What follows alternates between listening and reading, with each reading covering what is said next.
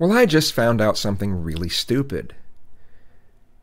On the Google product forums, on the YouTube help forum section of the Google product forums, uh, people were asking questions about uh, auto spam. And a couple times, some Google employees have said, well, you know, are you making more than uh, 10 comments a day? You know, make sure you reduce your comments from 50 a day to, to 10 a day, and you shouldn't find this kind of problem.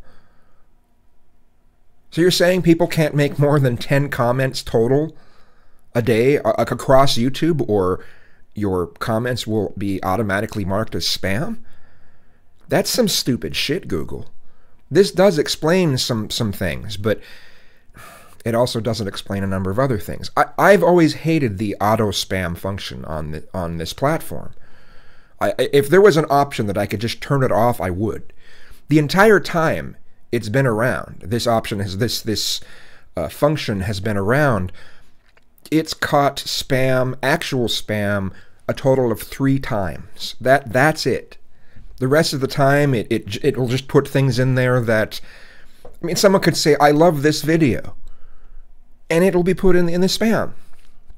Now, obviously, things will be put into spam if you leave a link there, you know, and, and I, I expect that. But I mean, every day, on average, I have to uh, unmark at least eight comments as spam. Eight. And that, that's on average. Sometimes it's been quite a bit more than that. You know, the auto spam function is just it, it's broken. It, it's it's never worked right.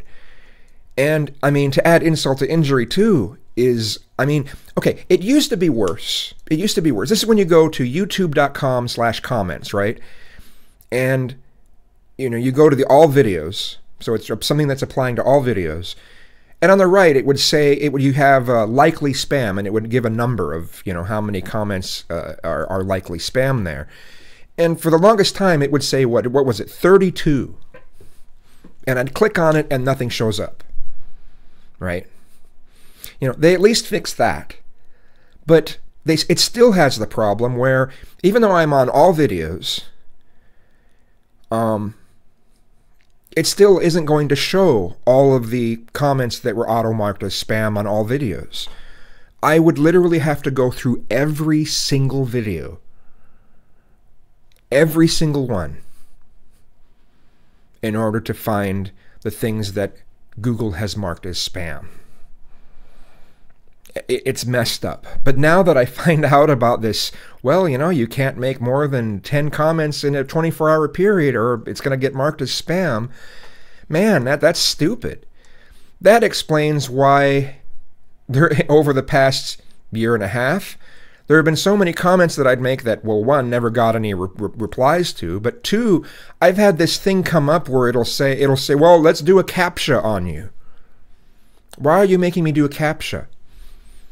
You know, and, and now I know why. And, and every time I made comments after it gave me a CAPTCHA, it, uh, you know, none of those would get replied to. Well, now I understand why. Google, this is stupid. This is stupid. This is going to encourage people to make sock accounts just so they can make more comments. I mean, 10 a day? I mean, that's some stupid shit. Not even Reddit has that stringent of uh, of uh, of things on this. I mean, Reddit at least has a thing you have to wait a certain period of time before you can make another one, but you can continue to make more comments. But no, on YouTube, nope, nope, 10. Really, Google? Really? That's some stupid shit. Really?